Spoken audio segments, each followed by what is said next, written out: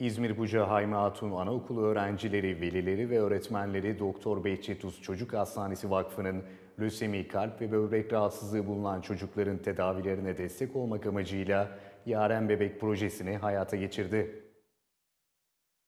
Ya bir de gidin bir başkası al. Kronik hastalığı olan çocukların tedavi sürecinde yanlarından ayırmadıkları yaren bebekler çocuklara hayat vermeye devam ediyor. Proje kapsamında sade kumaştan yapılmış yüzü olmayan ve süslenmemiş olarak üretilen Yaren adlı verilen bez bebeklere Hayma Hatun Anaokulu öğrencileri, öğretmenleri ve anneleriyle elbise dikilip yüz tasarımları yapıldı.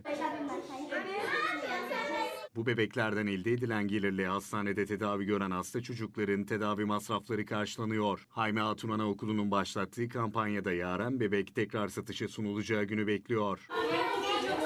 Sınıf öğretmeni Aslı Bingül projenin çocuklar yararına olduğuna dikkat çekti. Yaren Bebek Cana Can Katacak projemizi Haymi Hatun Anaokulu'nda başlattık. Buvak Vakfı'ndan aldığımız bebekleri ailelerimizle beraber kıyafetlerini yaptık, saçlarını oluşturduk ve yüzlerini yaptık. Bu bebeklerimizi daha sonra okul kermesimizde diğer velilerimize ve çocuklarımıza sergileyeceğiz. Buradan elde ettiğimiz gelirleri Buvak Vakfı'ndaki çocuklara armağan ediyoruz. Anaokulu Müdürü Fatma Devse elde edilen gelirin vakfa teslim edileceğini belirtirken kampanyanın çocukların manevi dünyalarını ve yardımlaşma duygularını geliştirdiğine dikkat çekti.